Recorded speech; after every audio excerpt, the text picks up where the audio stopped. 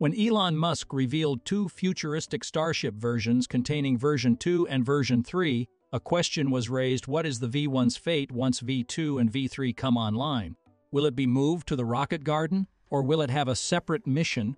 Most likely, SpaceX will not eliminate anyone but will instead classify all of those rockets into four groups for each specific purpose.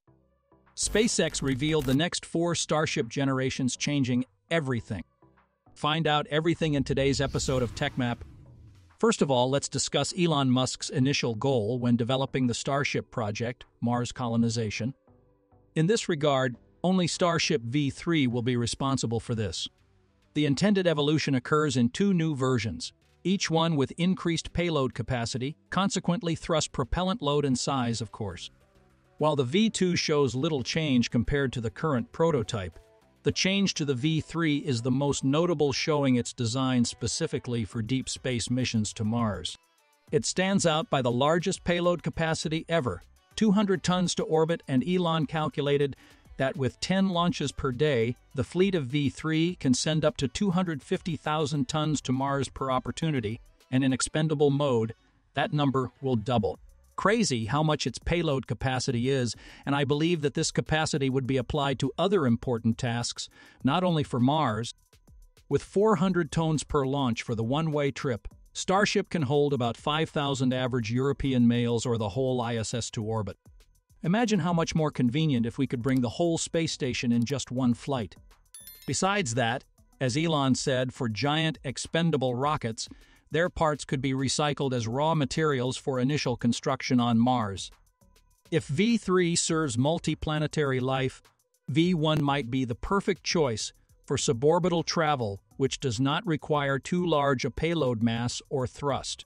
SpaceX's CEO used to mention the point-to-point travel on Earth by Starship with the ambition to disrupt the air travel market in the long run. This vision is strongly advocated by many people. According to them, in fact, even quality issues aside, Boeing still has a backlog of 5,300 airplanes. Airbus has an order backlog of 8,600 planes. Something about this design and production process is just not efficient or sustainable. Meanwhile, SpaceX has a very simple design and iterative philosophy to make Starship production as efficient as possible. This feels a lot like Tesla V's legacy auto, probably even more extreme. The fact that Starship doesn't use traditional airports is actually an advantage in the long run. They can probably optimize a lot there. Also think they may have an advantage when it comes to fuel costs and production. Oxygen is nearly free and green, methane could be produced from green hydrogen and carbon capture. Speed, they have a huge advantage. When SpaceX starts dialing everything in a Starship is going to be cheaper and faster to produce as well as faster, with more capacity than a traditional airplane. At the very least, intercontinental air travel will be disrupted.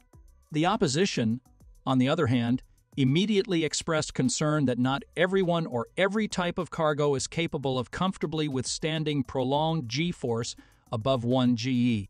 Another argument is about the logistics before and after the flight. For example, a rocket can't launch and land as close to a distribution point as a plane can. A rocket might also take more preparation time, be more sensitive to weather conditions, etc. The logistic requirements of rocket launches will never be able to compete with planes, and that is not to mention the thousand other reasons this won't work out. Even the only advantage, speed, is more than made dubious by launch and landing logistics and that ignores the question if anyone actually cares about that speed advantage. If it exists, 99% of air cargo is not that time critical that the difference even matters. Plus, once you build in the logistics, how much time do you save? We could open the holes, offload a pallet onto a truck, and it was on its way in a matter of minutes. Same for a departure. Really, the plane is probably one of the simplest parts of the whole process. The noise exhausted by rockets is also a significant matter, the Starship test has emphasized again that starting rockets is rather disruptive and affects the area around it. And it also requires very significant infrastructure for launching. Creating lots of Starship landing sites near cities seems entirely infeasible. It's hard enough in areas with fewer people, but that's not the areas where extremely fast cargo delivery would be useful.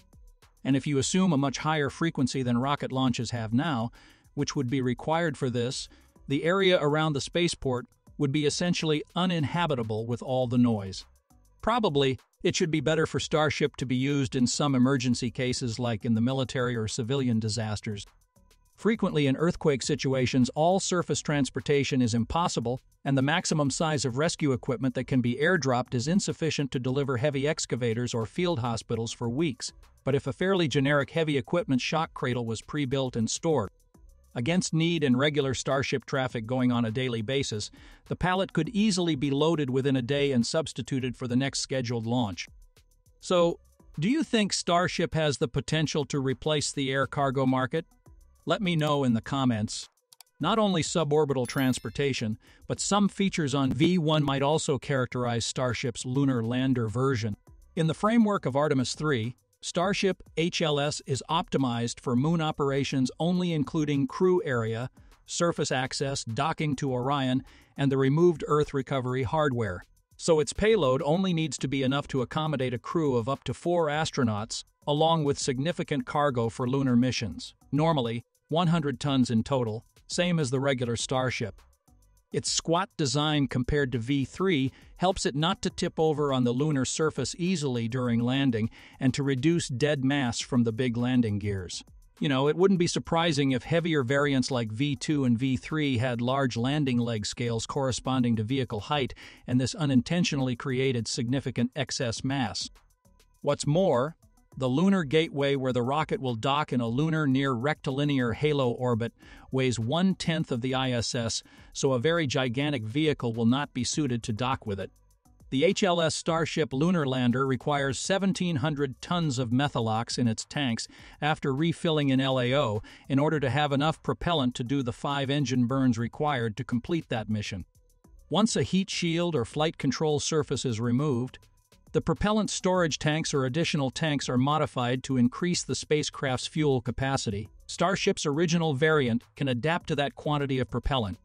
Last but not least, under the pressure of a deadline in 2026, SpaceX will likely come up with its available version, V1 instead of running out of the clock, to make the next generations ready in such a short time. According to NASA, minimizing changes in vehicle configuration and making the design and development of Starship HLS as common as possible will benefit future Starship HLS builds by eliminating the need for additional testing, evaluation, and verification of different vehicle designs.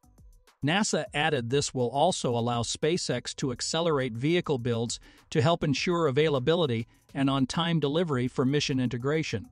In contrast to HLS Starship Depot requires a variant that is stretched to the peak. This drives SpaceX to make Starship's third version, and they can freely upsize it to any level they prefer because the Depot version is inherently featured by maximum tank volume and floating in space.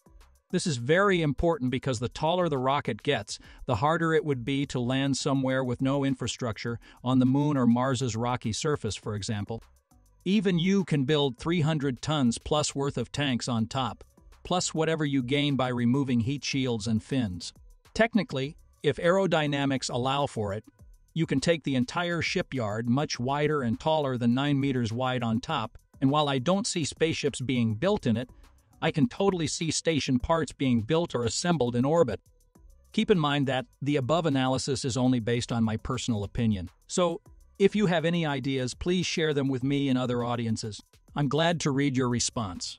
And that just about wraps it up for today's episode. Thank you, and we look forward to seeing you next time.